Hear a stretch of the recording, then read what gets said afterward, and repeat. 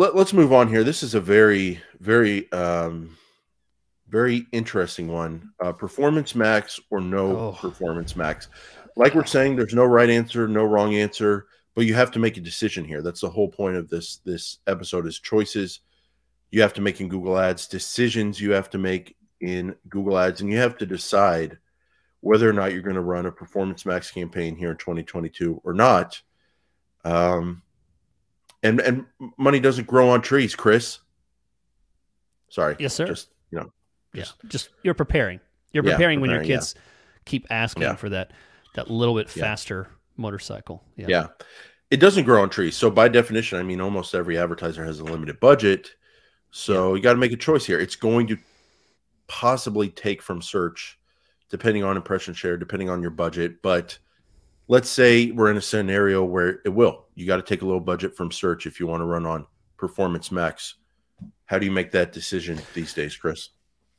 And do you like the way I framed it? Isn't that a pretty good, yeah. tough decision? Yeah. yeah. I, I mean, if we're going for like a death match kind of thing, you know, do I let we don't have to? We don't have to, Chris. A lot of talk about the death match today before the show. Give me a hug. Bring it in. Bring it in. I, Bring it in. Give me. Hey, I'll tell you, Chris. I'm. Give me a virtual hug right here. Okay. Just do it. All right. Patting your back. Okay. All right. Unlock. Unlock. Okay. okay. Let go. Let go. Too long. You. Okay, you're the go. one that held too long. That wasn't me. We both did. Okay. Okay. Go ahead. So, performance max or no performance max. I'm gonna go I mean, that's what we're here for to make the hard decisions. Yeah, um, sure. It's it's it's a shiny. It is definitely shiny and blinky and very shiny. lots of lot, lots of buttons and and very attractive. Um, but I'll tell you what, if I had to either take it or leave it, and either I had the option of running Performance Max in all of my accounts or no Performance Max at all, Jason, I would say no Performance Max at all in any of my accounts. That's where I would take wow. it. I'd say none. I'd leave it. I'd leave it on every single one. What do you think? Did I? Are you? Are you going to leave? No, I'm not going to leave. Okay. If, if, you know, if we have to make a hard decision and I've got to take leads from the search campaign, I'm going to do it these days. I'm going to try. I'm going to go wow. for it. It's uh, it's rare I'm, that we have such a solid disagree. This is okay. This is good. This is good. I want to hear it. Like tell tell me why because I can definitely tell you why I'm cautious about it, but you've probably heard it all. Tell me why you're in favor of it. I've heard it all why people are cautious about it. Yeah.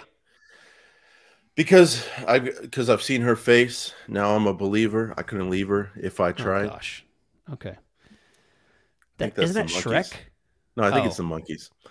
Shrek um, is where because I, I've seen it. I've seen it work. I've seen it work, and when it works, it's a beautiful thing. It's a beautiful thing because you're on brand with Google in 2022. You're going with the flow of the machine. And yeah. when you're in the flow of the machine and you're holding its hand and you get drag along drug along with it, right. some really, really cool things would happen because it's a very powerful machine.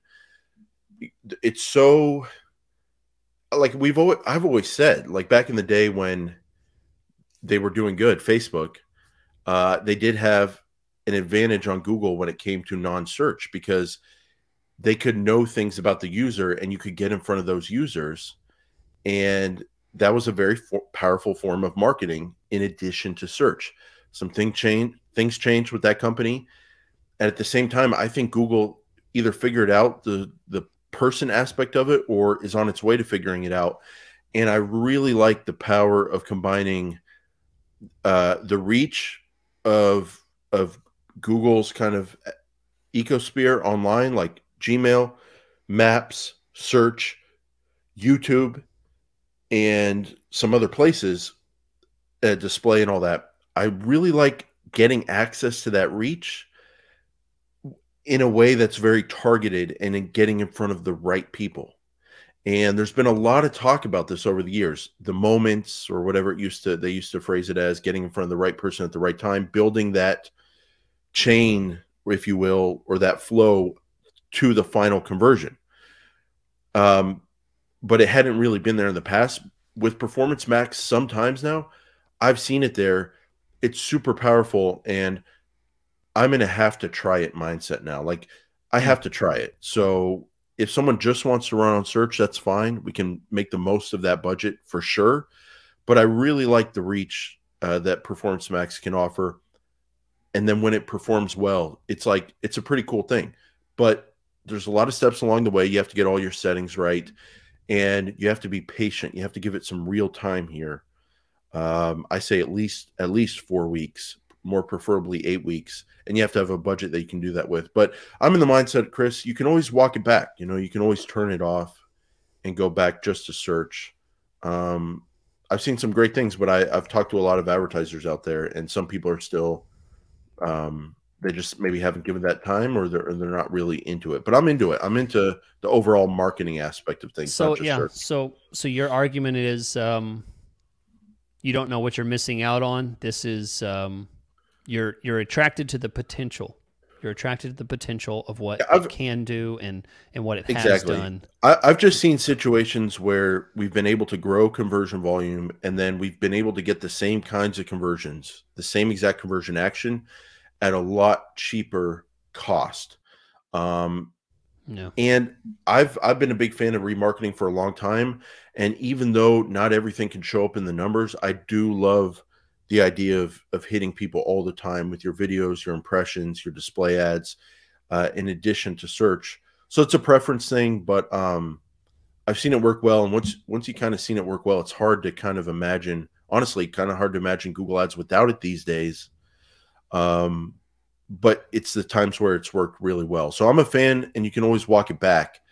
Um, but Chris, it definitely takes the right mindset, it takes the right advertiser.